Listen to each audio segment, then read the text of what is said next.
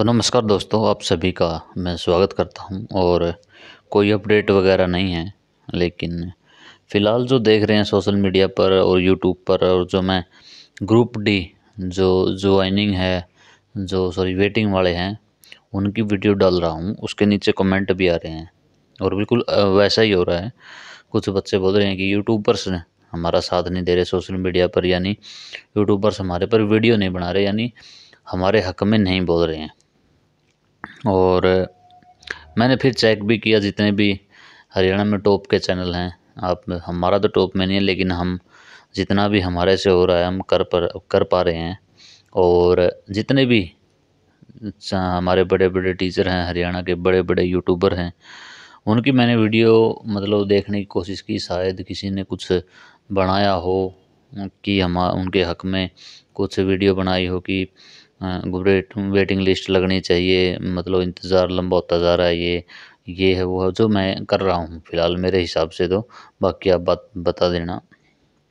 लेकिन बहुत सारे यूट्यूबर्स हैं, कुछ भी किसी का कोई ध्यान नहीं है इस मामले पर, सभी अपने अपने कोई क्लासेस लगा रहा है मतलब कोई अपना बैच बेच रहा है, कोई कुछ कर रहा है, कोई क्लासेस अपनी प्रमोट कर रहा है, और कोई कुछ कर रहा है, कोई कुछ कर रहा है, लेकिन हमारा चैनल तो हमेशा आपके साथ है और ये आपसे वादा है, मेरी पिछली एक बार ऐसा ही की भर्ती का ऐसा ही फंडा हुआ था कुछ, बहुत ज़्यादा हो गया था वो, मैंने वीडियो बनाई हुई है और कुछ यूट्यूबर्स को भी मैंने उसमें टारगेट भी किया हुआ है, यूट्यूब चैनल पर आप जाकर देख सकते हैं, जो आपके टॉप के यूट्यूबर हैं उनको और टॉप के टीचर हैं उनको।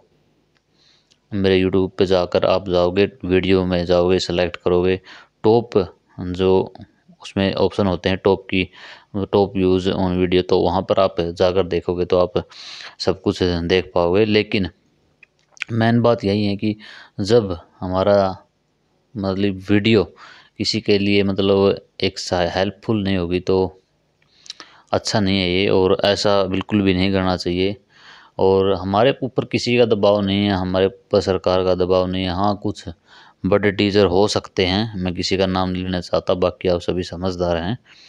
लेकिन कुछ टीचर हो सकते हैं, शायद वो सरकार के दबाव में हो, शायद वो वीडियो ना बनाना चाहते हों, लेकिन अन्य यूट्यूबर्स हैं जो उनको ऐसा करना चाहिए। और आज भी मेरी वीडियो के नीचे कमेंट भी आया था कि कुछ यूट्यूबर सपोर्ट नहीं कर रहे हैं, सभी यूट्यूबर्स को सपोर्ट करना चाहिए और एक साथ होकर आगे आना चाहिए यूट्यूबर्स को।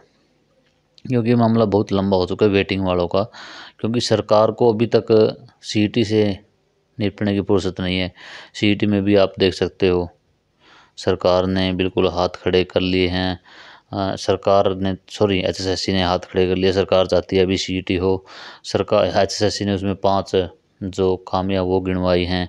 क्यों नहीं मतलब सीटी हम इस बार लें ये हमारे मतलब एजेंडे हैं, इसके थ्रू हम सीट ले सकते हैं। ये एजेंडे इसको नहीं मानना चाहिए और ये हमारे जो बातें हैं, उन्हें सरकार के सामने रखी हैं। लेकिन उस बात को परा करके हम फ़िलहाल जो ग्रुप डे की ज्वाइनिंग है वेटिंग वालों की, वो करवानी चाहिए बिल्कुल। और सभी यूट्यूबर को एक साथ आना चाहिए। और जितने भी टॉप के टीचर हैं यूट्यूब पे, उनको भी साथ देना चाहिए इन बच्चों का।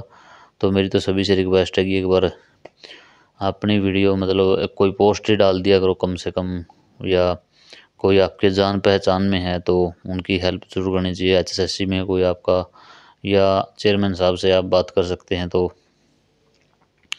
तो मेरा तो बस यही कहना है कि सबको इनका साथ देना चाहिए। यूट्यूबर हैं या जितने भी टीचर्स हैं टॉप टीचर्स हैं इनको, और ग्रुप डी वेटिंग वालों का, क्योंकि एक नौकरी का सवाल है, एक परिवार जो लंबे समय से इंतज़ार में है तो उनका सवाल है, आप सभी समझदार हैं, ज़्यादा बोलने की ज़रूरत नहीं है। तो सभी को साथ आना चाहिए, अगर कोई ऐसा कर रहा है, कोई वीडियो नहीं बनाता तो बिल्कुल उनकी वीडियो बनानी चाहिए। ये नहीं कि आज का, आज के टाइम में सीटी का जैसे मुद्दा उठ रहा है तो सीटी पर ही वीडियो बनाए। ऐसा बिल्कुल भी नहीं करना चाहिए, जो भी ये जो इनका समस्या है, इनका हल करवाना चाहिए। सभी को साथ आना चाहिए, सभी एक होकर इनके साथ खड़े हों, तभी इनका कुछ ना कुछ हो पाएगा। अन्यथा हमारे एक दो चैनल की वीडियो बनाने से मन लगता है इनका कोई कुछ होने वाला है। तो सभी को एक साथ आना होगा तो मेरी तो यही रिक्वेस्ट है। तो आशा करता हूँ इस वीडियो के बाद कुछ ना कुछ आपको सोशल मीडिया में कुछ ना कुछ जो बड़े टीचर्स हैं, उनको उनसे, उनकी ज़ुबान से कुछ ना कुछ ज़रूर मिलेगा। धन्यवाद। जय जय भारत।